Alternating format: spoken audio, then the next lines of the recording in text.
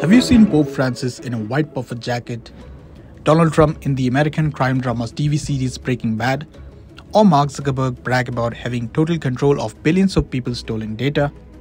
Answer yes, and you have seen a deepfake. The Indian government recently mandated the swift removal of deepfake videos from online platforms, highlighting the urgency in curbing this new wave of digital deceit. At the heart of the storm is a video featuring actress Rashmika Mandanna which turned out to be a deepfake, sparking widespread alarm and discussion among netizens.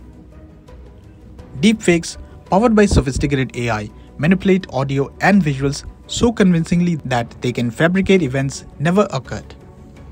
Beyond videos, this technology can craft counterfeit images or clone voices, potentially weaponizing information to damage reputations, skew stock markets, influence elections, or incite social unrest.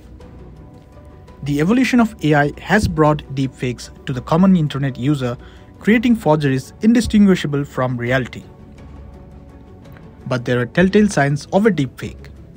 Unnatural eye movements, color and lighting mismatches, incongruent audio, odd body shapes or movements, artificial facial expressions, misaligned facial features, and awkward postures. To unmask a deepfake, Scrutinize for irregularities in the eyes or facial expressions, listen for audio inconsistencies, or analyze body dynamics for oddities.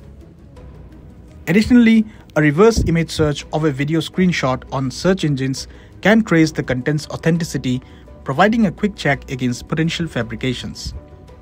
This multi pronged approach to spotting deepfakes is not just precautionary, it's becoming an essential skill in navigating the increasingly complex digital landscape.